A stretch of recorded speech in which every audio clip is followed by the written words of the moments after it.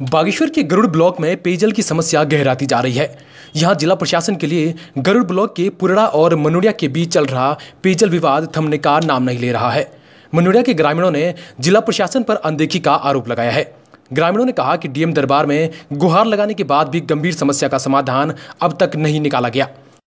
वहीं जिलाधिकारी ने कहा कि मुख्य विकास अधिकारी के निर्देशन में एक उच्च स्तरीय जाँच टीम गठित करने के निर्देश दिए गए हैं। जो दोनों गाँव में मौके पर जाकर स्थलीय निरीक्षण करेगी। उसकी फाइनल रिपोर्ट के आधार पर समाधान किया जाएगा। हमारी ग्राम में ढाई इंच पानी की स्वजल की योजना करीब पिछले दस साल से चल रही है मुनेरा गदेरे से।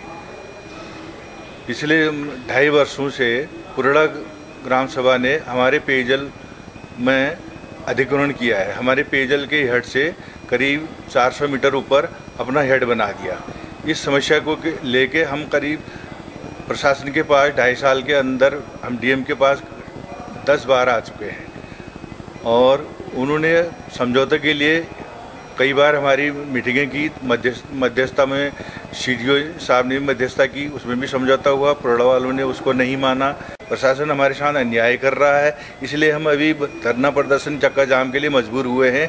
गरुड़ तहसील के हमारे दो गाँव हैं मनिउड़ा और पूड़ा।